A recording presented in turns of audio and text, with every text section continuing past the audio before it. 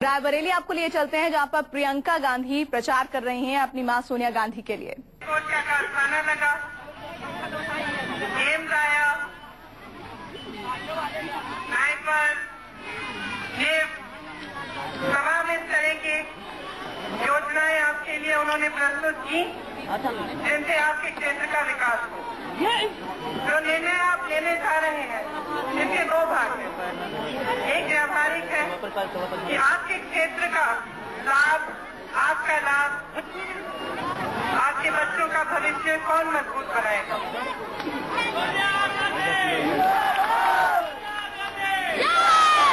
इसमें आपको देखना है कि आपका लाभ कहाँ होगा, कौन कराएगा? जैसे आप जानते हैं दूसरे प्रत्याशी इस तरह के हैं कि शायद इस चुनाव के बाद यहाँ दिखे भी नहीं। सोनिया जी ने आपके लिए जो काम किया, वो दिल से किया है, एक भावना से किया है।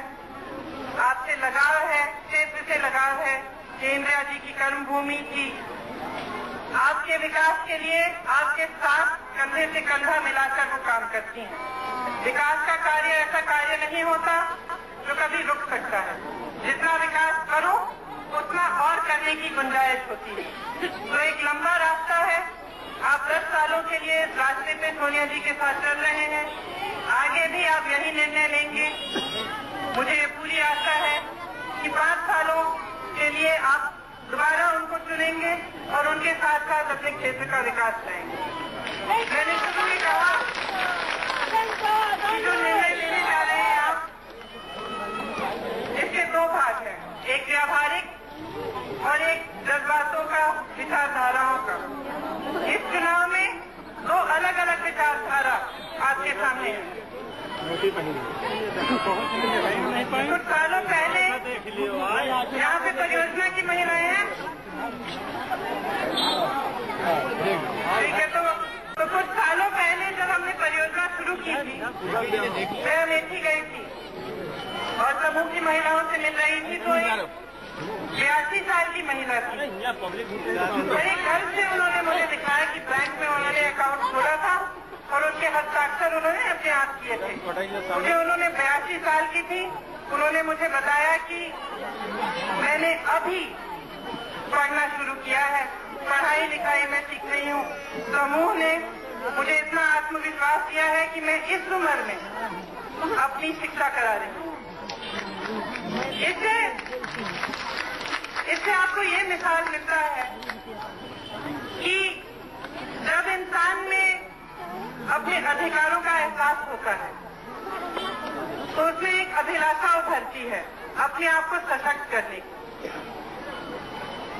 अपने अधिकारों के बारे में समझना, जब अधिकारों के आधारित पर, आधारित योजनाएँ बनती हैं, कार्यक्रम बनते हैं, तब जनता सशक्त होती है। मज़बूत बनती है। एक विचारधारा हमारी है, जिसमें हम चाहते हैं कि जनता मज़बूत बने। जितने भी हमारे कार्यक्रम रहे हैं, जितनी योजनाएँ रही हैं, सब इन्हीं की, इन्हीं को देखते हुए किया कि आप मज़बूत बने। आप में आत्मविश्वास बढ़े। आप सशक्त बने। चाहे वो भोजन का अधिकार हो, शिक्षा का अधिकार हो, सूचना का अधिकार हो, ये सब चीज़ें कांग्रेस की नीतियाँ हैं, जिनके ज़रिए आप मज़बूत बनेंगे। दूसरी विचारधारा है कि सारी क्षमताओं एक, क्षमताएँ एक व्यक्ति में। एक व्यक्ति सारे निर्णय लेगा।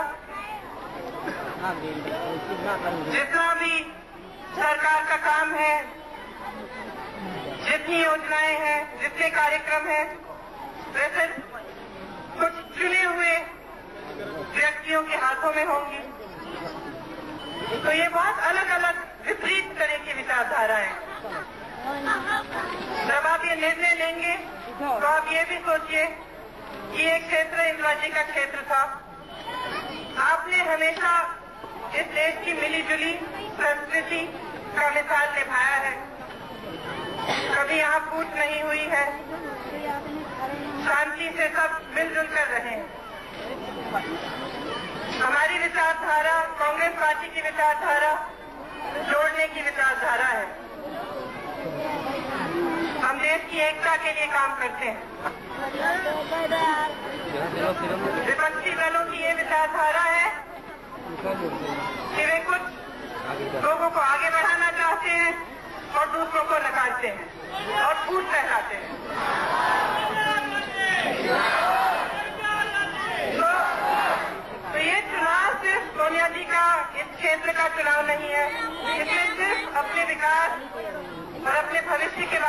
सोचना है देश के भविष्य के बारे में भी सोचना है।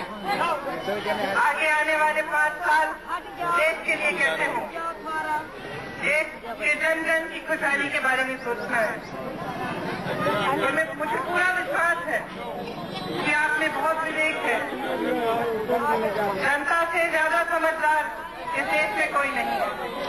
मैं जानती हूँ कि सही निर्णय लेंगे आप। सही पार्टी को चुनेंगे, सोनिया जी के हाथ मज़बूत करेंगे, अपने क्षेत्र का विकास और अपना देश का, अपने देश का भविष्य मज़बूत बनाएँगे। आप सबको बहुत बहुत धन्यवाद।